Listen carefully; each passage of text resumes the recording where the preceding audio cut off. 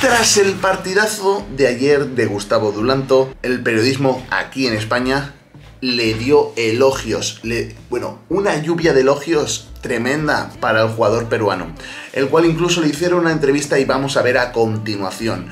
Ya os digo, increíble, uno de los programas más importantes del fútbol, porque digo importantes porque también es uno de los más vistos en la hora en la que está, el cual es el chiringuito de jugones. Hablan de muchas cosas, sobre todo y la mayoría del Barça, del Real Madrid y del Atlético de Madrid y los posibles fichajes de estos tres equipos. Le dieron una lluvia de elogios a Gustavo Dulanto incluso, ya os digo, le hicieron una entrevista la cual vamos a ver a continuación. Nada mal para Gustavo Dulanto, la verdad que está de moda. Es un hombre que está de moda. ¿Y por qué? Porque está teniendo un rendimiento increíble y se lo está ganando. Y ya os digo, yo espero y deseo que dentro muy poco esté convocado con la selección. Sí, han convocado a Zambrano, ya os digo, jugador veterano, jugador que ya ha estado en la selección. Y otros jugadores que, bueno, yo creo que ya es momento de que den paso a, pues bueno, a nueva generación, que sería en este caso Gustavo Dulanto. Y nada, dicho esto, ahora sí, vamos a ver el vídeo en el cual uno de los programas más importantes de España de periodismo deportivo, le hace una lluvia de elogios a Gustavo Dulanto tras acabar el partido contra el Real Madrid, el cual, pues bueno, como ya sabéis, el Sheriff, el, equipo en el cual está jugando, el equipo moldavo, ganó ayer al Real Madrid por 1 a 2 en el Bernabéu y en el minuto 88 con un golazo increíble de su compañero.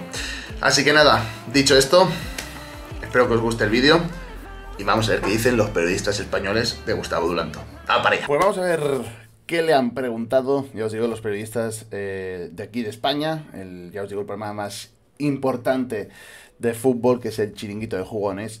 Y bueno, vamos a ver qué tal, qué dice Gustavo de esta experiencia de haber ganado en el Bernabéu y de, bueno, de en su momento haber dicho que iba a ganar en el Bernabéu. Vamos para allá.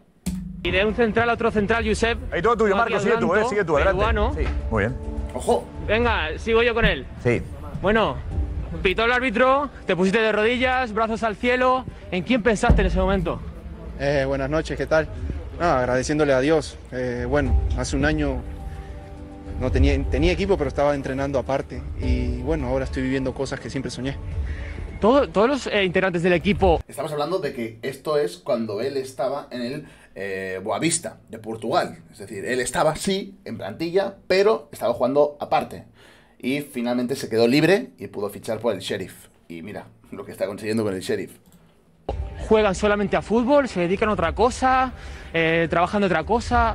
Sois profesionales todos, ¿verdad? Todos, somos profesionales, sí, todos somos profesionales. ¿Te, imaginaste en algún momento de tu vida que esto sucedería en tu carrera?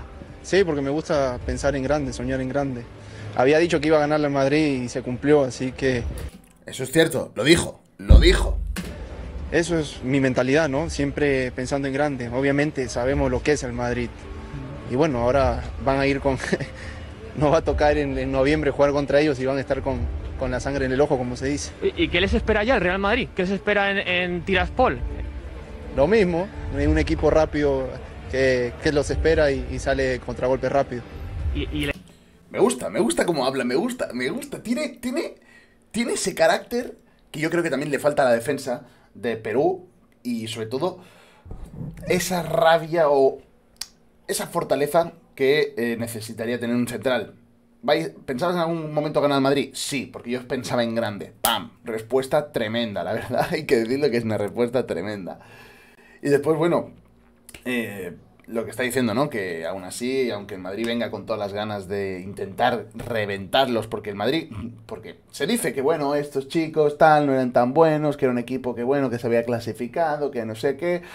¡Pum! Les gana, el Madrid va a ir con, el cuchillo en la boca y va a intentar hacer una masacre de 7-0, 8-0, lo que pueda. La verdad, ya os digo que va a, va a intentar ser así, pero estos chicos, y sobre todo Gustavo, yo confío en ellos y creo que lo van a hacer muy bien y que van a darle caña al Real Madrid nuevamente allí en Moldavia.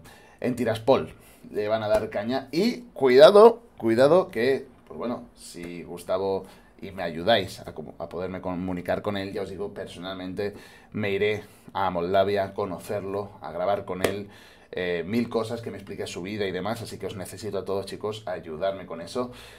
Y imaginaros que, bueno, si el, el bueno de Gustavo me invita para poder ver ese partido, sería increíble. Dicho esto, vamos a ver qué más le preguntan a Gustavo los periodistas de aquí de España. El estadio cómo es, la gente achucha mucho, la afición, eh, ¿cómo es? Es muy respetuoso. Achórate Perú, eh. Buena gorra, eh, tiene. Buena gorra, hay que decirlo. Achórate Perú, muy buena gorra. Cosa la gente allá, la verdad que que, bueno, se merece lo que, lo, que, lo que está viviendo la gente allá, porque desde, bueno, desde que he llegado, la verdad que me ha tratado muy bien a mí y a mi familia. ¿Qué, te ha dicho los jugadores del Real Madrid? ¿Has tenido la ocasión de poder hablar con ellos, charlar con alguno de ellos en algún momento? No, con Valverde. Le dije, no, le pedí disculpas por la patada que le metí. le pedí disculpas por la patada que le metí. Es fútbol, Gustavo, es fútbol, pero yo también te entiendo, yo también lo hubiera hecho. Es decir, yo también hubiera ido, yo qué sé, si le meto una patada a Benzema, yo también luego hubiera dicho, perdona Benzema, tío, es el fútbol, no... Tenía que pararte, tenía que pararte. Yo también lo hubiera hecho, es decir, yo también me, hubiera llegado, hubiera llegado a hablar con, con, bueno, con el jugador que yo le haya dado una patada para pedirle disculpas por la jugada. Pero bueno, no pasa nada, no pasa nada. Es así, esto es fútbol, es lo que hay. Y en el penal me acerqué a Benzema, le digo, no sé qué decirte para ponerte nervioso y se comenzó a reír. La verdad que... ¿Qué? ¿Qué? ¿Qué carácter tiene este chico? A ver. Le dije, no, le pedí disculpas por la patada que le metí. Y en el penal me acerqué a Benzema. Le... Ah, claro, porque pitaron un penalti que, bueno, bastante dudoso, ya os digo, bastante dudoso. Bastante dudoso. A Malicious, ¿vale? Se lo pitaron a Malicious. Pero bueno, que esta temporada Vinicius ya estás viendo también que, no sé, está siendo un reflejo que no entiendo ni yo. Pero bueno, estamos hablando de Gustavo. Fue a Benzema a decirle, no sé qué decirte para ponerte nervioso para que fallara el penalti. Me gusta, me gusta este chico, me gusta este chico para la selección, de verdad lo digo, me gusta. Tiene carácter, tiene huevos, me gusta. Digo, no sé qué decirte para ponerte nervioso y se comenzó a reír. La verdad que son jugadores top eh, clase mundial, así que quería ponerlo nervioso, pero ¿qué le voy a decir a Benzema? Muchísimas gracias por atender al chiringuito ahora mismo en directo aquí mientras hacéis el check-in para iros a, Chisinau, la capital de Moldavia. Muchísimas gracias, Donato. Muchas gracias. Chisinau. Allí me iré yo si ustedes me ayudan a comunicarme con él. Vamos para allá. Sí, un saludo a Perú, la verdad que estoy lejos, pero siempre Achórate Perú. gracias. Muchísimas gracias. Bueno, Josep, aquí estamos en la Terminal 1. Eh... Grande, qué grande, chicos, qué grande. Un genio, un genio, eh, lo digo de verdad, un genio. Un genio. Un genio. Pues nada, esto es lo que le dijeron a Gustavo Dulanto los periodistas del Chiringuito de Jugones. Ya os digo, uno de los programas eh, deportivos, de periodismo, de periodismo deportivo más importante de España. Y la verdad que nada mal, ¿no? Eh, se le ve con, con, carácter, se le ve con, con, sobre todo mucha personalidad, que eso es una de las cosas que, me gusta de los jugadores. Que tengan su personalidad, que tengan su, estilo, que tengan su forma de ser. Él no tiene miedo a nada, ya lo habéis visto, le ha metido una patada a Valverde, intentó poner nervioso a Benzema, pero bueno, ya os digo, eso son cosas de momento. Yo también estaría viviendo ese sueño de estar jugando en el Bernabéu o en el Camp Nou o donde sea, la verdad, como profesional. Y Gustavo Duranto, pues bueno, lo está consiguiendo y además ganando al Real Madrid en casa. Y si eres del Madrid y estás viendo este vídeo, lo siento, pero así son las cosas. Eso sí, suscríbete, dale like, comparte el vídeo, chicos, apoyar al canal. Y ya os digo, si os gustaría que, bueno, pudiera conocer a Gustavo Duranto, apóyame, apóyame P, apóyame P. Nos vemos.